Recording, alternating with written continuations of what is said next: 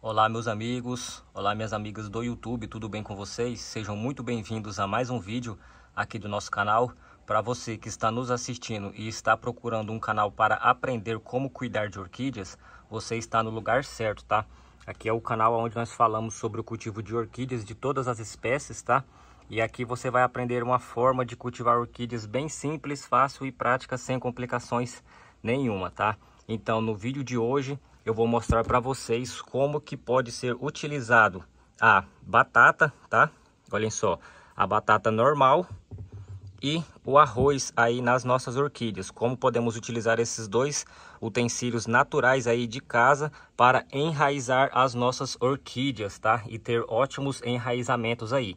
Vamos enraizar orquídeas de uma forma natural, sem agredir a planta. Então, por gentileza, fique até o final desse vídeo deixe o seu like, compartilhe o nosso vídeo, os nossos vídeos aqui com mais pessoas para nós podermos recuperar o nosso canal, tá? Para quem não sabe, é, o nosso canal principal estava com 83 mil seguidores, porém foi hackeado e foi excluído.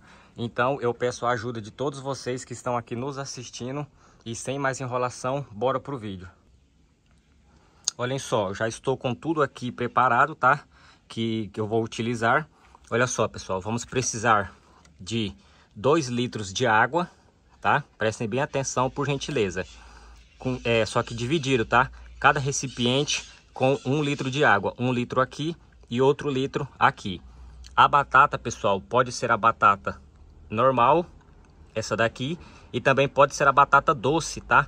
Não tem problema nenhum, pode ser qualquer uma das duas batatas, beleza? E o arroz, nós vamos precisar de 3 colheres dessa daqui grande, tá? Olha só para vocês verem o tamanho da colher, tá? Então vamos precisar de 3 colheres de arroz cru. Vocês podem reparar que ele está cru, pessoal. Como que nós vamos fazer esse processo? Também vamos precisar aqui de um recipiente como esse, tá? Vocês podem ver que tem um pouquinho de água.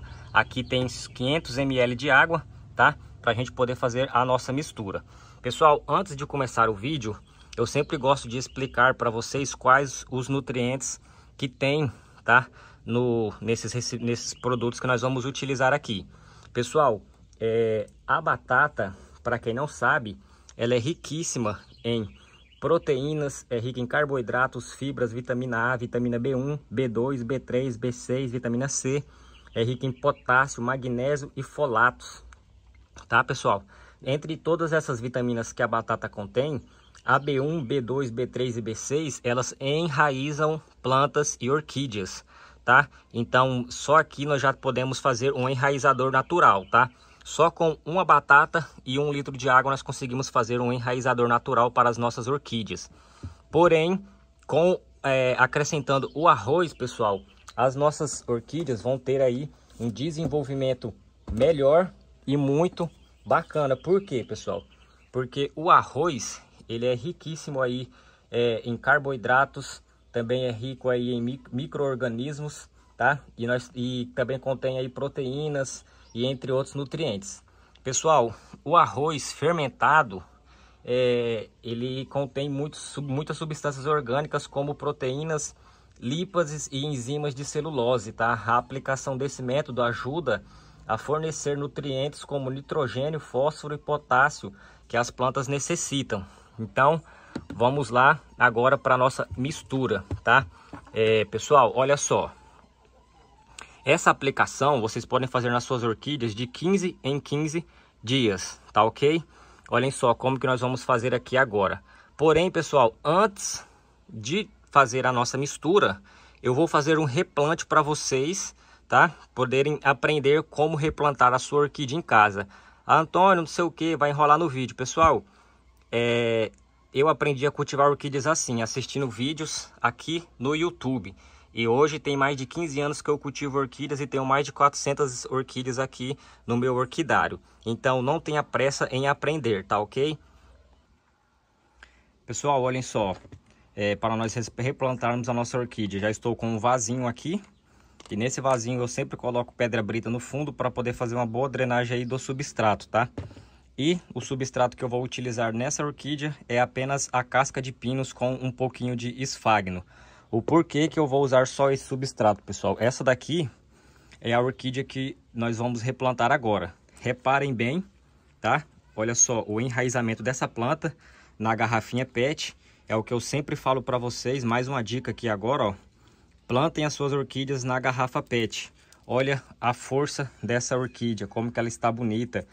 O tamanho dela está enorme, enorme, enorme, tá? Nós vamos retirar ela desse vaso, por quê? Porque esse vasinho, pessoal, já ficou pequeno para ela, tá?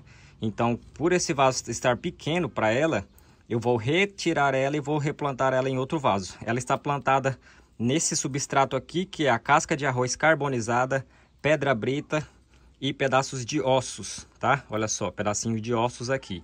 Então, vamos lá. Vamos apertando, tá?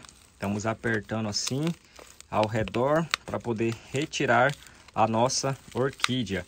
Pessoal, aproveite aí é, você que está nos assistindo, por gentileza, é, deixa aí nos comentários qual o estado e a cidade que você está nos assistindo, tá? Para a gente saber até onde os nossos vídeos estão chegando. Tem bastante gente comentando aí de São Paulo, Rio de Janeiro, Santa Catarina, Amapá, Mato Grosso, Mato Grosso do Sul, Nordeste. Muito obrigado a todos vocês que estão comentando aí e interagindo nos nossos vídeos. Pessoal, olhem só, por aqui, ó, vocês podem reparar que aqui é mais gordinho, né? Não vai sair, eu vou ter que cortar, tá? Esse vaso aqui. Olhem só, fiz um cortinho aqui e agora eu vou só destacar assim, ó. Olha só, saiu, vai cair bastante substrato, não tem problema, tá? Não tem problema nenhum, vou até colocar o vasinho aqui embaixo para ver se eu consigo reutilizar um pouco desse substrato, que ele é muito bom. Pessoal, é, esse aqui é um processo que nós temos que fazer porque se a orquídea ocupar todo o vaso, se ela ocupar todo o vaso e não for replantada, o que que acontece, pessoal? Olhem só, muitas raízes machucadas, mas não tem problema, tá? Aqui é só a gente colocar canela, olhem só, o enraizamento dessa orquídea, olha só. Então, o que que nós vamos fazer aqui, pessoal? É, retirei a planta do vaso e olhem só o que, que aconteceu aqui. Ficou pequeno ainda o vaso para ela, tá? Então, o que, que eu faço aqui? Retiro as pedras brita e pronto. Olhem só, colocou certo, encaixou certinho, tá? Agora eu vou colocar ela aqui, ó. Vou virar para lá porque ela é muito grande essa orquídea. Eu não sei o que, que acontece com as minhas orquídeas aqui, que elas ficam extremamente grandes. Olhem só, pessoal, tá pronto aí, tá?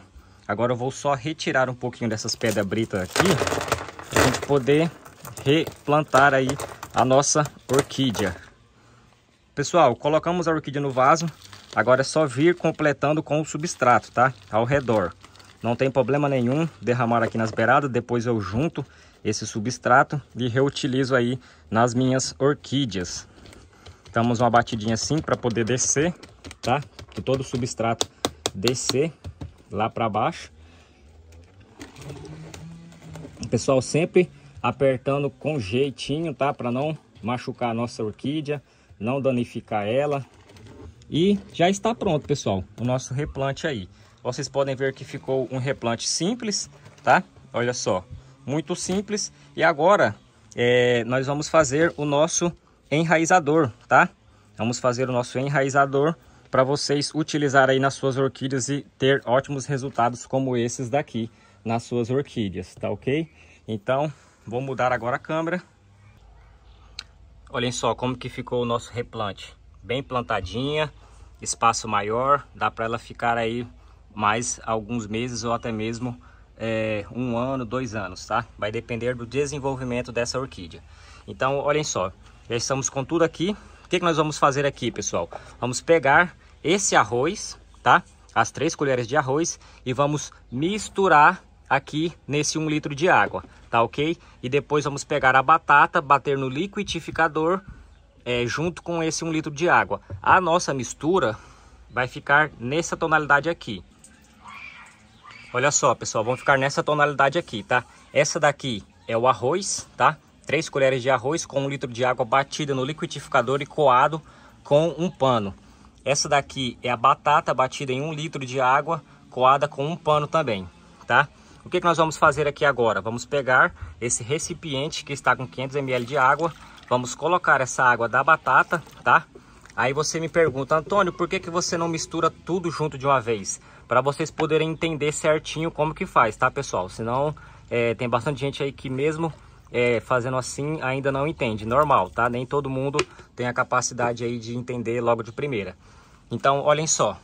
Feito isso, misturamos aqui a água do arroz com a água da batata e aquela 500 ml de água. Feito isso, pessoal, agora é só a gente pegar, tá? A nossa é, batata aqui. Eu só vou pegar o copinho, ó, um copo. Esse daqui, pessoal, é o primeiro método de, método de aplicação, tá? Podemos vir aqui, ó, no substrato da nossa orquídea e fazer essa aplicação aí sem problema nenhum, tá? Olhem só. Outra dica para vocês, tá, pessoal? Esse daqui é o primeiro método para vocês fazerem a aplicação. Pessoal, quem quiser deixar essa água aqui de molho fermentando durante 24 horas também pode, tá? Não tem problema nenhum. Esse daqui é o primeiro método para vocês é, enraizarem as suas orquídeas aí de forma natural. Olha só, de uma forma natural para elas terem ótimos resultados como esses daqui, tá? Pessoal, feito isso, vocês também podem fazer outro processo aí nas suas orquídeas, tá? Que é esse daqui, ó. Vocês podem pegar uma orquídea e colocar de molho nessa água assim, igual está sendo mostrado aqui, tá? Pode deixar ela de molho assim cerca de 10 minutos, não tem problema nenhum. Feito isso, retire a sua orquídea, olha só, o substrato suga, tá? A água. Feito isso, é só retirar a sua orquídea e pronto, pessoal.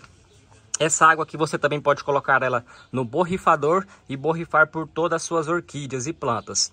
Então é isso daí, pessoal. Primeiro método, pode pegar um canequinho, fazer a aplicação no substrato normal, igual eu mostrei aqui para vocês. Pode mergulhar a orquídea aqui dentro e deixar de molho. E também pode colocar essa água no borrifador e borrifar por todas as suas orquídeas, que vai dar ótimos resultados aí para elas. Então, pessoal, esse foi o nosso vídeo de hoje. Eu espero que vocês tenham gostado.